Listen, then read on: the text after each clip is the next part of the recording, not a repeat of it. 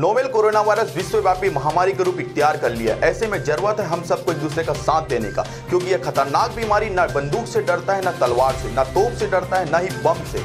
यह डरता है तो सिर्फ़ अकेले अकेलेपन से, और इसकी ताकत भीड़ भाड़ में और भी ज़्यादा बढ़ जाती है। इसलिए आप सबसे अपील है, कृपया घरों में रहे और घर में रहकर जमात सैनिक की तरह इस खतरनाक बीमारी को लड़ने में शासन प्रशासन की मदद करें। धन्यवाद।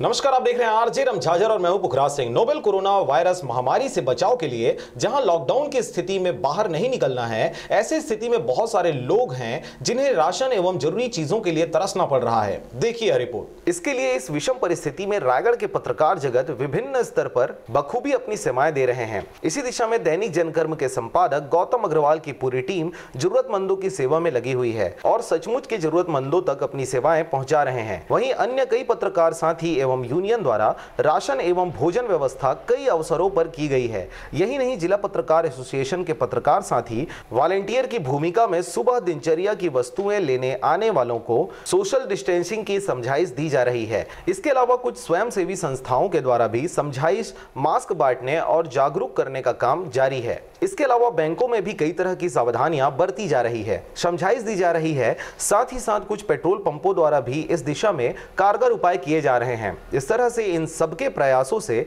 शासन प्रशासन को बल मिल रहा है। वहीं कुछ ऐसे लोग भी हैं जो अभी भी बहुत ही लापरवाही से नियमों की अनदेखी कर रहे हैं। कि घर में रह करके हम अपनी देशभक्ति कर सकते हैं, अपने देश को हम बचा सकते हैं। ये बैंक ऑफ़ बड़ौदा के रायगढ़ शाखा का जो है ये माहौल है। हम आपको दिखाना चाहेंगे। यहाँ पर जो केवल केवल ज़रूरी काम हो रहे हैं।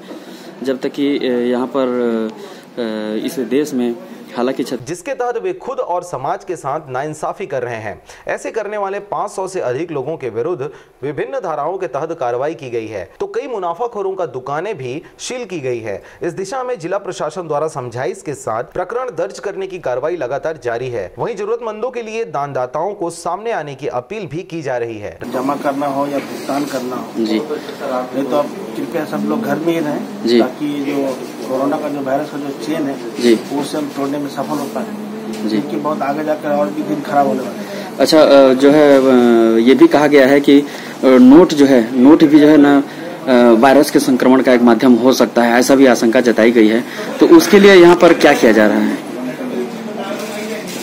अच्छा जैसे पिछले आपने आप बता रहे थे कि जो नोट है दो तीन दिन पहले के नोट ही आप पेमेंट करने के लिए दे रहे हैं ऐसा कुछ है क्या? आज यदि कोई जमा करता है तो उसका पेमेंट के लिए नहीं देते हैं?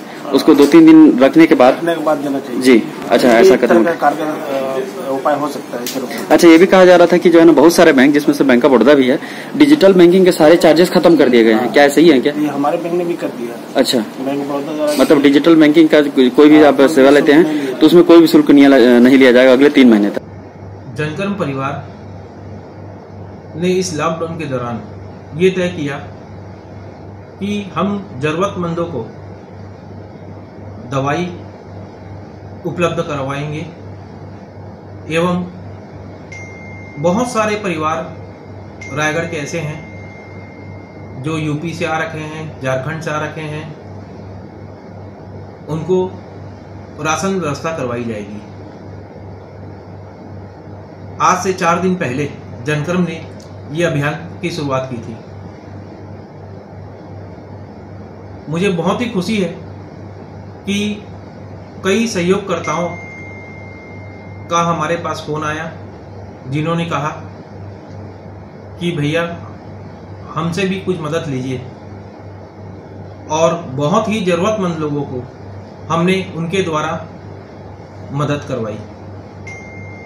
इस क्रम में आज सुबह भी हमने पाँच से छः जगह राशन सामान उपलब्ध करवाया। मैं उन सभी सहयोगकर्ताओं का बहुत ही धन्यवाद ज्ञापन करना चाहता हूँ। और जब तक ये लॉकडाउन रहेगा, जनकर्म परिवार प्रतिबद्ध है, उन जरूरतमंद लोगों को राशन सामान उपलब्ध करवाने का। रायगढ़ से मोहन नायक की रिपोर्ट, आरजे रमझाझर और अब एक खास बात, आरजी रमझाझर के दर्शकों से निवेदन है, ताबड़तोड़ बेबाक व बेझिझक खबर देखने व जानने के लिए आज ही चैनल को सब्सक्राइब करें। लाल कलर का बटन, सब्सक्राइब बटन है, उसे दबाते ही बेल आइकन आ जाएगा उसे क्लिक करके ऑल ऑप्शन सेलेक्ट कर दें, जिससे सबसे पहले हमारे द्वारा डाले गए वीडियो आपके पास पहुँचेंगे और आप निर्बाध तरीके से इस चैनल के माध्यम से सारे खबर सबसे पहले देख सकते हैं। नमस्कार।